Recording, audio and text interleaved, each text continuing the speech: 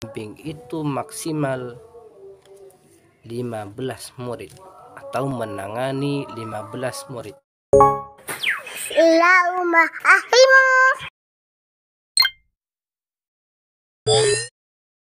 Ahmad Dudun.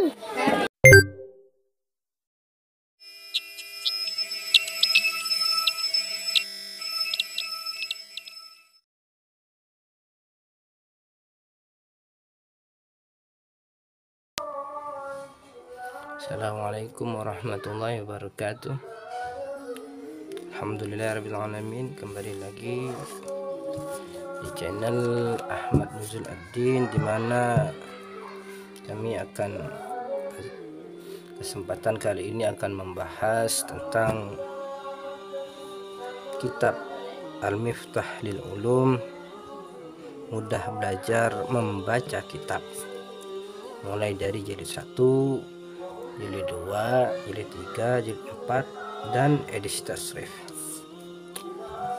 Sebelum kami membahas satu persatu apa itu kitab Al-Miftah lil Ulum jilid 1 apa itu Al-Miftah lil Ulum jilid 2 apa itu Al-Miftah lil Ulum jilid 3 apa itu Al-Miftah lil Ulum jilid 4 dan kemudian edisi tasrif maka alangkah indahnya jika para pemirsa para penonton untuk subscribe untuk mendukung penuh channel ini agar bisa memberikan manfaat. Bismillahirrahmanirrahim. Para pemirsa yang berbahagia pada kesempatan kali ini kami akan membahas satu persatu kitab Al-Miftah lil Ulum.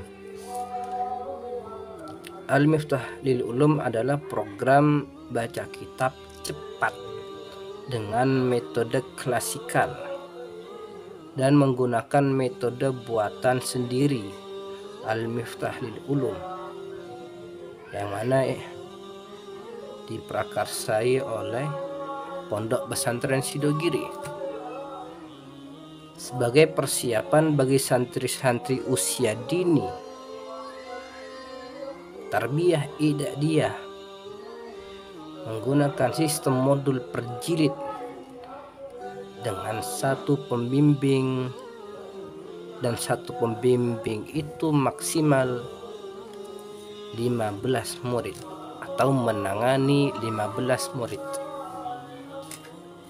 Dengan metode ini santri usia dini yang telah bisa membaca Al-Quran tapi belum bisa membaca kitab dalam waktu satu tahun diharapkan sudah mampu membaca kitab Fathul Qorib dengan baik.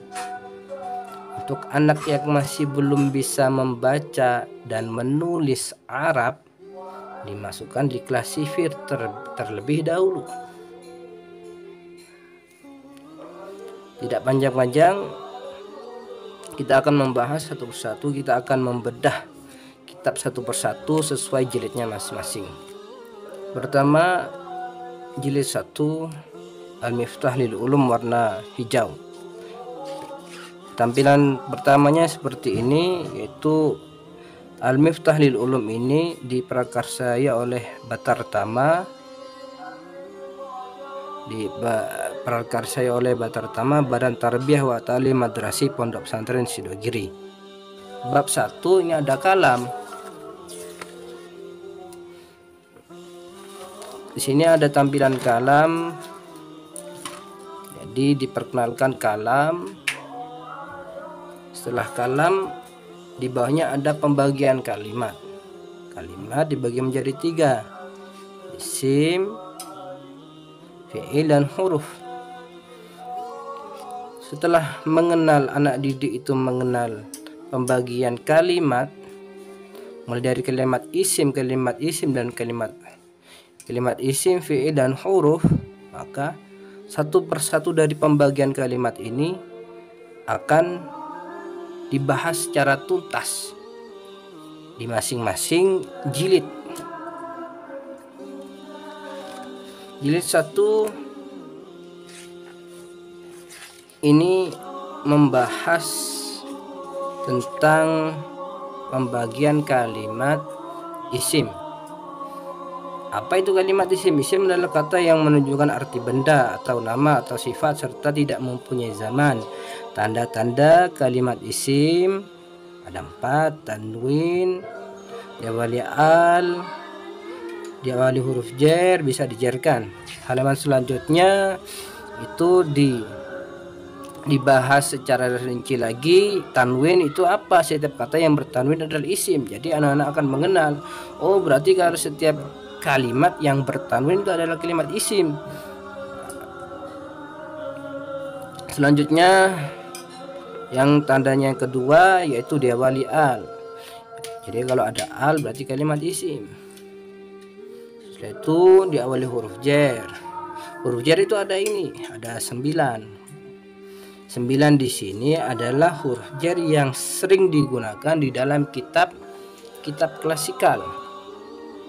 Sebenarnya huruf jar ini banyak tapi di dalam kitab Al-Miftah ini diambil yang sering digunakan di dalam kitab-kitab klasikal yaitu min ila fi an ala lam kaf ba waw ba ta. Ini adalah huruf qasam terus selanjutnya setelah kalimat isim mengetahui ciri-ciri kalimat isim jadi anak itu bisa membedakan kalimat isim. Kita lanjut ke kalimat fi'il. Apa itu kalimat fi'il? Kalimat fi'il adalah kata yang menunjukkan arti pekerjaan yang sudah berlalu, sedang atau akan dikerjakan. Tandanya juga ada punya uh, kalimat fi'il juga punya tanda. Selain kalimat isim juga punya tanda. Ternyata kalimat fi'il itu juga punya tanda, yaitu ada empat. Qad, sin, sofa dan tak tanis. Dengan pengenalan tanda ini anak-anak akan bisa membedakan perbedaannya antara kalimat isim dengan kalimat fi'il. Selanjutnya yaitu kalimat huruf. Kalimat huruf adalah kata selain isim dan fi'il dan tidak mempunyai tanda. Kalimat huruf contoh ini ini ini, cuma sebagai contoh. Oh, contoh contoh kalimat huruf ada ruba amma ila ay ya lau ay ahal bala dan lah terus di sini ada skema skema isim jadi skema isim itu jika ditanyakan jika kalimat itu isim ap, apa kalimat isim itu jika dikatakan kalimat isim? Apa mu'rab apa mabni? Satu di bawahnya nakiro apa ma'rifat? Di bawahnya lagi muzakkar atau muannas? Di bawahnya lagi jamid atau mustaq? Jadi satu kalimat ini skemanya isim seperti ini.